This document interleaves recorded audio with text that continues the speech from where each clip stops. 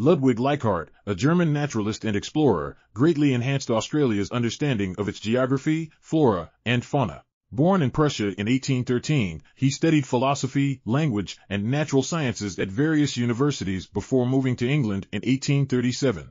With support from his friend William Nicholson, he conducted studies and travels across Europe before arriving in Sydney, Australia, in 1842 to explore the continent's inland regions.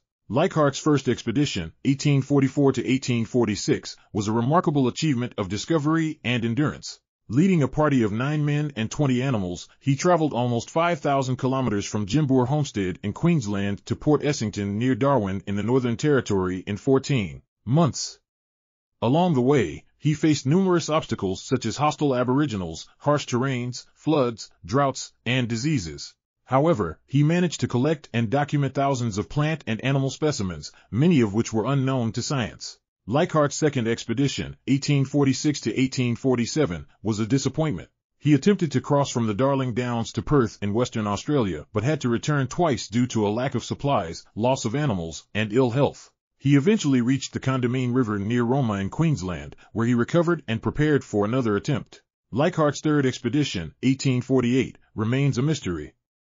He left Roma with six companions and seven horses intending to reach the Swan River colony in Western Australia via the northern coast. However, he disappeared without a trace after writing his last letter on April 4, 1848 from a place called McPherson Station on the Cogoon River, approximately 800 kilometers west of Brisbane.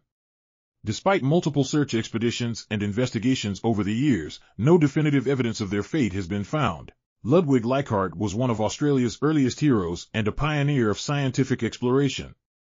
His accomplishments have inspired generations of adventurers and researchers. His name lives on in many places, including the Leichhardt River, the Leichhardt Highway, the Leichhardt Grasshopper, and the suburb of Leichhardt in Sydney.